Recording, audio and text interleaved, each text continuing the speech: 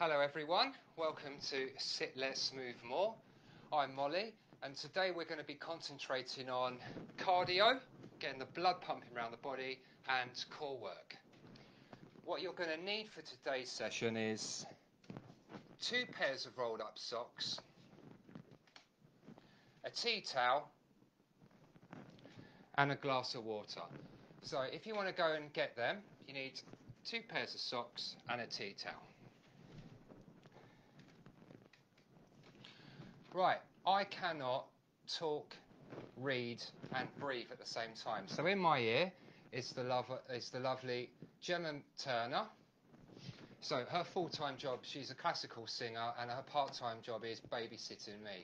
So she takes care of me when we do our MolyFit sessions.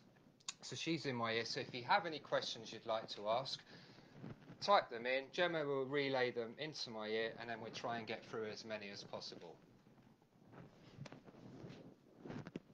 Right, first of all, when you exercise, what we're doing today, I wanted to, you know, on Wednesday, the government said, right, everyone can go out and exercise as much as possible. That's great if you're physically able to go out and exercise as much as possible. So I've done these sessions for those of us that are less mobile, and I want to show that just because you're in a chair and just because you have limited mobility doesn't mean that you can't get your blood pumping and your heart rate up. So that's what we're going to do today. That's where the glass of water comes in. It's so important during exercise you take regular sips of water because dehydration can be quite a serious thing. If you're dehydrated, it can cause confusion, it can cause dizziness, it can make you more prone to trips and falling. So it's always important to carry on drinking as we train. So we will stop and have regular sips of water. Also, when we're exercising, we're probably going to get your heart rate a little bit higher than it's used to. Now, work at your own level. If you feel chest pain at all, any time when you're exercising, stop. And if you feel that you're working too hard, just slow it down and work at your own level. You can sometimes I'll be going quite quickly, so it's up to you. If you want to keep up and you feel it's fine, suitable, great. But at the same time, if you think you're working too hard, just slow it down or even stop and just take some time to recover and get some nice big deep breaths in. Right, so what we're going to do today, first of all, is we're going to start with the core. It's quite important to have an activated core whilst you're exercising. Fundamentally, it protects your back and also a strong core will give you good posture so when you're out walking, moving around, it makes you less prone to falling. So let's, what is the core? So the easiest way to find the core is to start with the pelvic floors. So what we're going to do here is we're going to squeeze our internal muscles like we're holding in going to the toilet. You don't want to hold them for too long. You're just going to tighten them and relax and so on. We're going to do that 10 times. So first of all, let's make sure you're sitting in the right position. You want to be in a chair where your bottom is the same height or a bit higher than your knees. You don't want your knees low, higher than your bottom hang on, you don't want your bottom lower than your knees because then it tips your pelvis and puts pressure in the back. Heels want to be directly underneath the knees, feet hip distance apart. That puts everything in what I call a neutral position. Open the chest, so don't force the shoulders back, just be aware that the chest is open. And now we're going to try and work these pelvic floors. So pull in your internals, give them a squeeze and relax, squeeze and relax. Three, four, relax, five, relax, six, relax, seven, relax, eight, relax, nine, relax, ten, relax. Good. So the reason I've started with that is your core is probably the hardest thing about exercise to achieve. They're not obvious big superficial muscles. They're the muscles behind the muscles. They're tucked and hidden away, and it's not obvious when you switch them on and off. So by activating the pelvic floors, you should have felt a little bit of a stirring and then going on there, pull it in and zip it up to your belly button and just be aware that something's activated. But whilst you're doing that, remember to breathe. It's very, very common when we're whacking on the core muscles, we forget to breathe. So just activate those muscles and breathe. Let's just have a few deep breaths in through the nose, out through the mouth. Good. Right, keeping that chest open. Let's start with the socks. So a sock in each hand. We're going to put our hands by our side. We're going to sit up as straight as we can with an open chest. And we're going to squeeze the socks and relax. Squeeze and relax. So we're just starting to gently warm up, working our hand muscles. Let's do five more. One, two, three, four, five. Good. Now we're going to convert that into bicep curls. And we're going to start with a hammer curl, which is called a hammer curl because you imagine you hold a hammer, you're holding it that way. Now, hands by your side, pin the elbows into your ribs, into the side of your body, come up to 90 degrees, and as you reach your chest height, squeeze the socks, and then as you go back down, relax the socks. So, up and squeeze. One, two, three, four, five, six, seven, eight, nine, ten. Good. Right, let's just have a little break to make sure we're doing it all. You should not feel this in your back at all, okay? We don't want any unnecessary body weight or pressure going into our backs. It should be in here. So if you are feeling in your back, try and change your body position, activate the core a bit more, maybe open your chest. Let's try again. So remember, start from straight. As you come up to 90 degrees, squeeze the socks. Let's go. One, two, three, four, five, six, seven, eight, nine, ten. Let's hold it there. Let's keep squeezing the socks for five, four, three, two, one, and rest. Good. Now we're going to reverse that and we're going to do a bicep curl. So this one, turn your hands round so your knuckles are facing the floor. Start with your hands by your side like last time. Again, come up to chest height, squeeze the sock and back down again. The reason we come up to chest height and not any further is if I turn side on, watch, when, watch my shoulder when I come up, see it rocks forward. So it goes from being a bicep exercise into a shoulder exercise. It's that little movement, takes it out of the bicep and puts it in the shoulder. So you come up to here and that isolates the bicep. Now you can make this exercise as easy or as difficult as you want, just by the amount of force you put into your bicep as you exercise. So the more you squeeze it, the harder you'll work. So, open chest. Let's go. Squeeze. One, two. So you're squeezing the sock and your bicep when you get up to the top. Four, five, six, seven, eight, nine, 10 and rest. Just have a little rest. Whilst we're resting, if you want to tap in any questions, I'm happy to answer them. So we'll start again. Feet hip distance apart, heels under knees, open chest. Let's do another set. Squeeze the biceps, squeeze the sock. One, two, three, four, five, six, seven, eight, nine, and ten. Good. So that's a nice, slow, gentle start. Now let's try and put a bit more coordination, a bit of cardio into it. So what we're going to do, we're going to alternate the arms. You're going to come across the body to your shoulder, back down, and then the other hand across the body to the shoulder and back down. As you come up and hit your shoulder, squeeze the sock. And we're going to speed this up to get the blood pumping. So let's go in five, four, three, two, one. Let's go. One, two, three, four, five, six, seven. Let's do two on each side. One. Squeeze, squeeze. Three, four, five, six, seven, eight. Back to singles. One, two, three, four, five, six, seven. Second set for eight, seven, six, five, four, three, two, and rest. Well done. So, now to make that a bit harder, what we're going to do now, instead of our hands being down by our sides, we're going to raise the arms. We're raising the arms, so it's working us harder because we're having to lift the weight of our arms. So take the socks to your chest. Now keep squeezing the socks throughout this. Now if you notice I'm holding them with my thumbs facing up.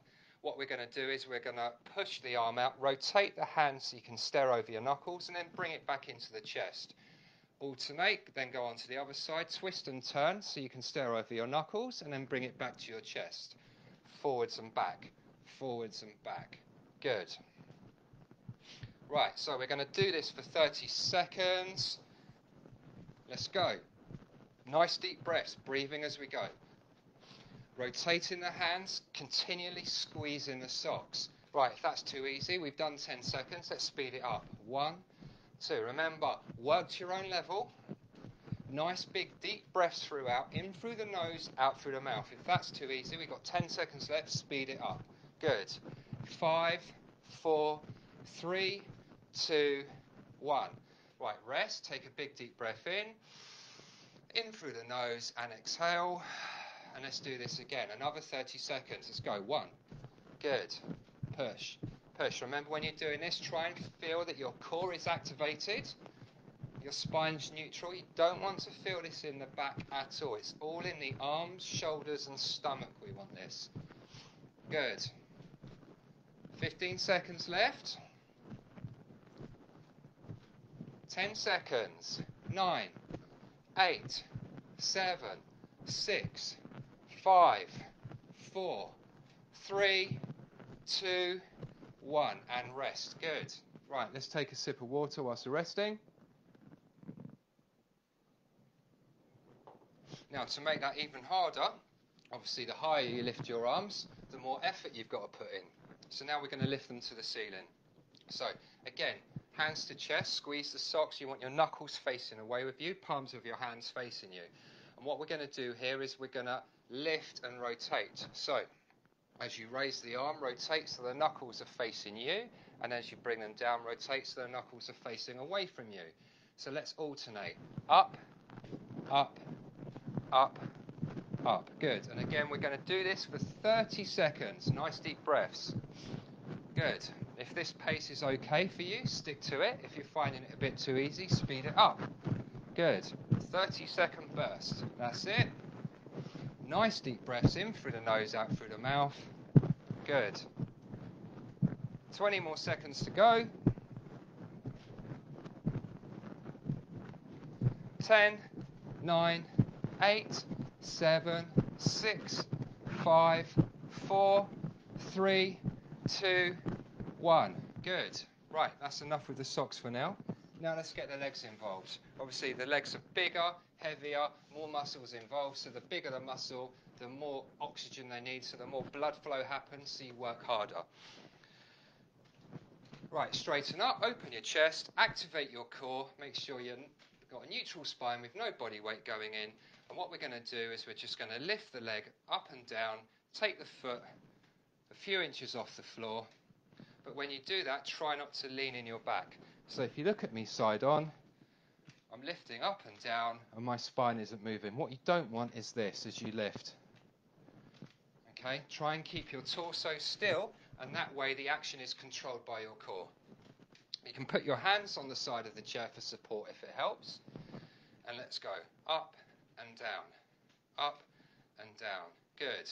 We're just going to do this for 10 seconds. Nine, eight, seven, six, five, four, three, two, one. Right, let's just do one leg at a time for 10. One, two, three, four, five, six, seven, eight, nine. Right, hold it there. Hold for 10, nine, eight, seven, six, five, four, three, two, one. Swap sides, up and down. One, two, three, four, five, six, seven. Remember, keep that back straight, the core on. Let's hold it up there. Hold for 10, 9, 8, 7, 6, 5, 4, 3, 2, 1. So that's introduced the legs. Now let's marry up the arms and the legs, get some coordination working.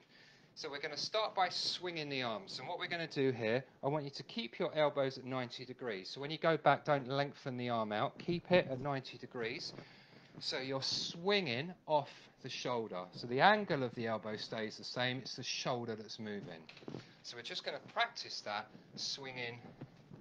You know you're doing this right if your hips start moving from side to side because this creates hip swing. Which is why it's always a good idea to swing your arms as you walk because it makes walking a bit more economical. It encourages the hips to move forward. So let's go. Let's speed this up. So I want you to really whack on the core, take big deep breaths, and swing those arms as fast as you can. From now, let's do 10 seconds. Nine, eight, seven, six, five, four, three, two, one, and rest. Let's take some deep breaths. Three big breaths in through the nose, out through the mouth. Good. And then afterwards, have a little sip of water.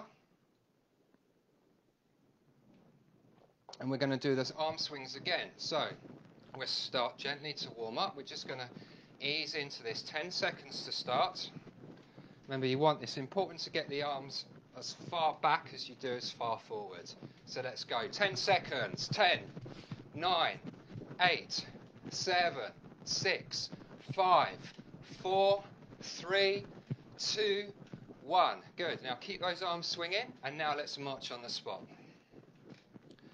So I'd like you to try and coordinate this as your left leg goes up, your right arm goes forward. So let's try that. And remember, don't let your back arch. Try and keep your back as upright as you can in that neutral position and use your core muscles. And if you're doing this correctly, you should really feel this in the stomach now. So let's speed it up. 10 seconds. 9, 8, 7, 6, 5, 4, 3, two, one. Slow it down. Keep going. It's important when you're exercising at a higher level and you've got your heart rate up, you never want to stop suddenly. Always slow it down, cool down first. If you stop suddenly, the blood stays where it is, not enough gets to the brain, and you can feel a bit dizzy. Right, let's start speeding it up again. 10 seconds. 10, 9, 8, 7, 6, 5, 4, three, two, one. Slow it down. Good. Nice deep breaths. Three deep breaths in through the nose, out through the mouth. We're going to have one more go at getting that heart rate up. So go as fast as you can. Obviously, as fast as is appropriate to your fitness. Right, let's go. 10 seconds. Go. 10, 9, 8, 7, 6, 5, 4, three, two, one, and rest. Good. Right, lose the arms. Let's just keep the legs going. Gently marching the legs whilst we're recovering. Nice deep breaths in through the nose, out through the mouth. Three of those. One more. Good, and rest. Right, so you want your tea towel now. So what we're going to do now is we're going to strengthen the upper back muscles. So grab your tea towel, fold it in half, and then half again. Hold on like a bar. Pull in, squeezing your shoulder blades together. So it looks like this. The elbows are going as far back as they can. And when you get to there, squeeze those shoulder blades together. So we're really working these muscles. Let's do 10 of those. So first of all, is your seat position okay? Feet hip distance apart. Heels under knees. Activate the core, neutral spine, open chest.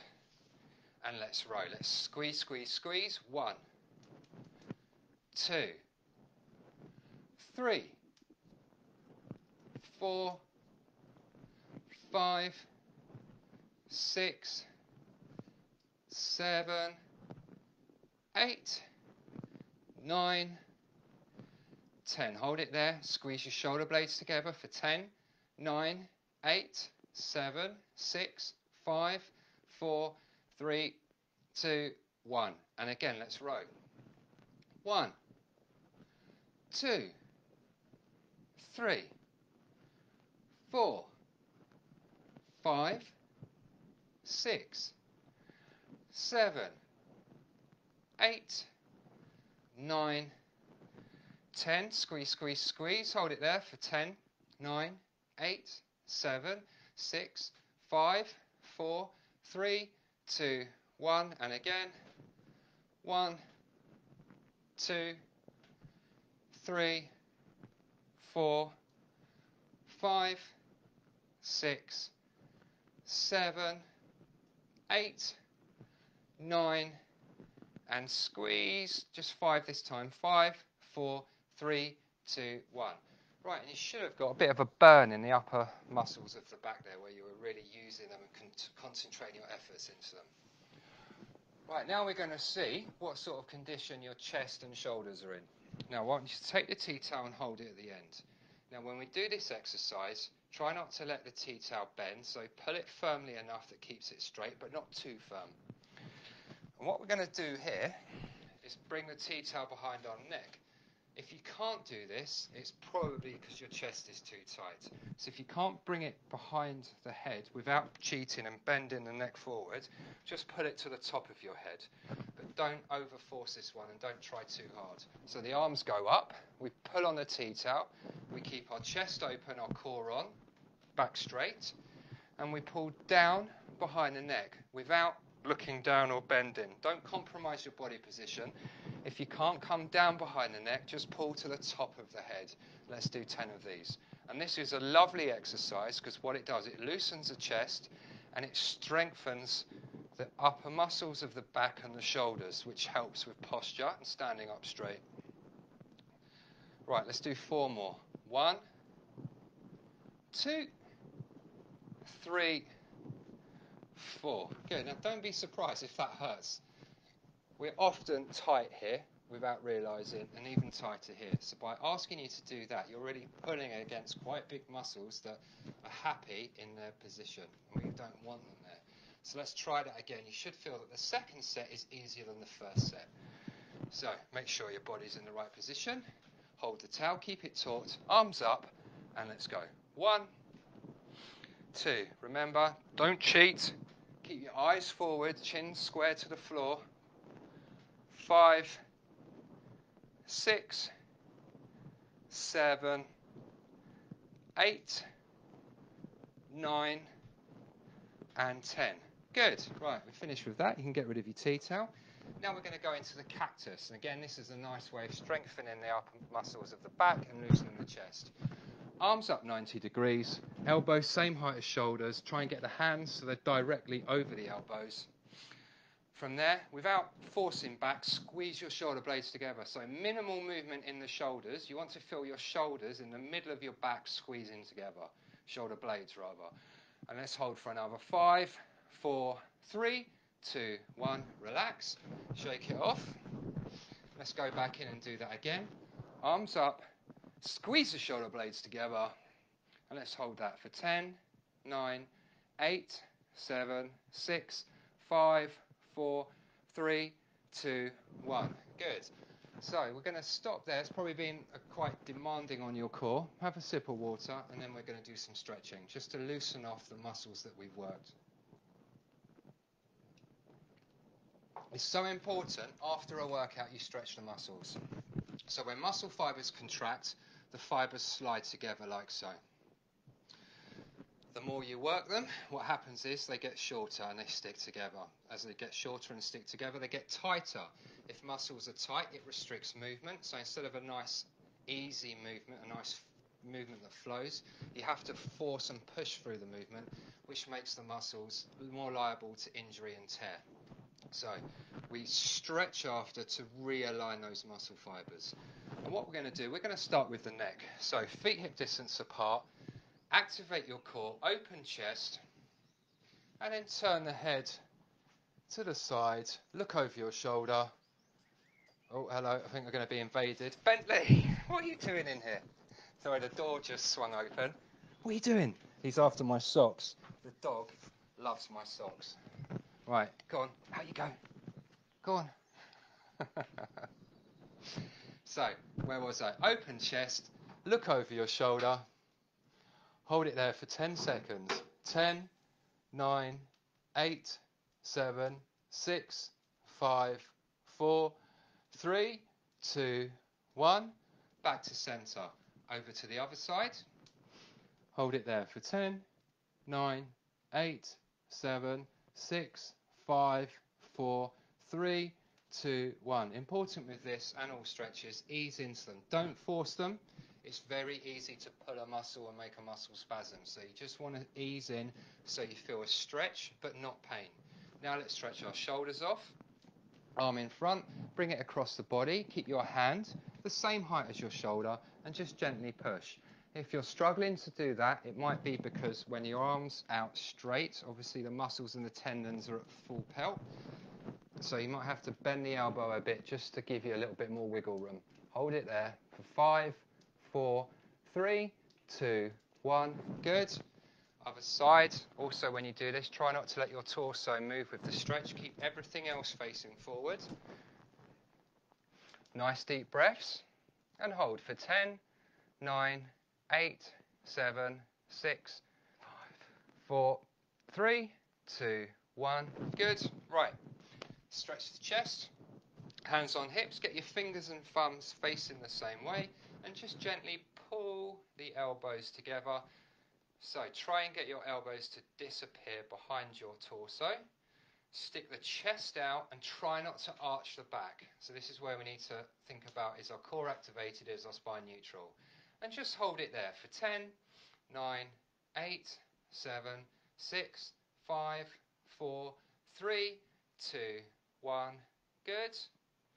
Now we're going to stretch our glutes. You want to sit back in the chair for this one. Use the back of the chair for support.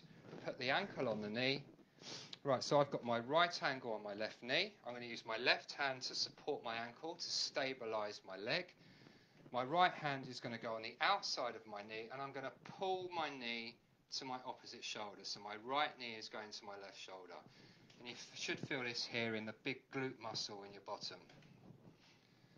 It's quite important, this one. Glutes are responsible for, in my field, about 9 out of 10 back pain. So tight glutes can actually give you referred pain in the small of your back. They're a big, massive, powerful muscle.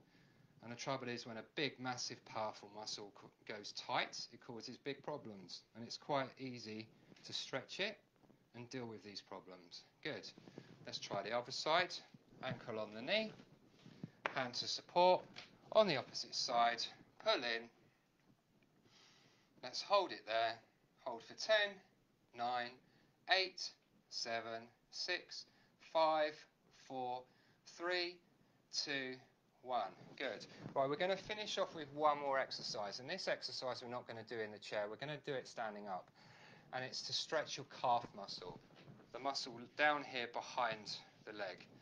It's important to stretch the calf muscle because pretty much everyone's calf muscles are tight. And the problem is when calf muscles are tight, they are really strong and powerful. I mean, they, if you think when you're, I mean, they're designed for when we run, they can take two and a half times your body weight going in. And the trouble is, when they tighten up, it limits ankle movement, it limits foot flexion, and it can make your walking wooden. And also, if you're not picking your foot up when you walk, you're more likely to hit one of those loose paving slabs or tree roots or whatever and fall. So by keeping the, the calves loose, you're really helping the way you walk and it makes it less wooden. You need to use a supportive, well I always use a wall because it's not going anywhere. And you stand up. Right, place your, oh, let's see. I don't think you're going to get all of me in this shot. I'm a bit too tall. So I only really care about my legs, my feet. I want you to see my feet. If I go here. Now, put your hands on the wall. Your body wants to be arm distance. So if I come down on my knees for this, just to show you, your body wants to be arm distance away. Okay, you don't want to be too far back because you don't want to lean into this stretch. Okay, so imagine I'm standing on my feet here. My torso straight, I'm arm distance away from the wall. So, arm distance away from the wall, hands just lower than shoulder height. Then use one foot at a time, step back, let's move that out of the way. Step back as far as you can, making sure that your back foot, all of it can hit the floor. Okay, you want all of the sole on the floor. Now, with that back foot, glue the heel down onto the floor Now with the front leg, lean forward on the front leg.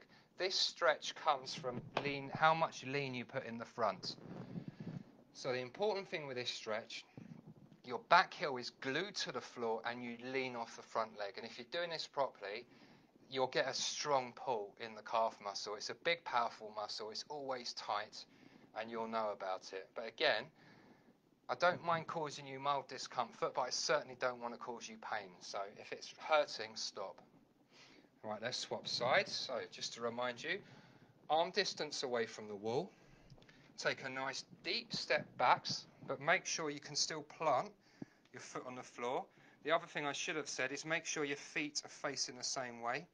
So have a look, make sure they're all lined up, facing in the right direction. Toes aren't spraying out to the side. Lean off the front leg, glue your back heel down to the floor, and let's hold that for another 10, 9, 8, 7, six, five, four, three, two, one. Right. So that's my lot for today. I hope it's been of some benefit. I will be here, same time, next place, five o'clock on Thursday. Until then, stay well, stay safe. See you then.